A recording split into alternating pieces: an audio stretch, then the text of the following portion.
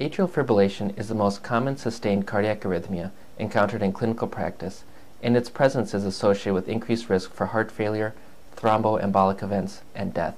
Furthermore, the number of individuals affected with atrial fibrillation is expected to significantly increase over the next several decades, underscoring the need for cost-effective outpatient management. Aside from addressing the role of thromboembolism prophylaxis, the outpatient clinician is faced with several treatment options that fall into two broad overlapping categories, rate or rhythm control. Rate control involves the use of negatively chronotropic drugs to reduce the rapid ventricular rate frequently found in atrial fibrillation.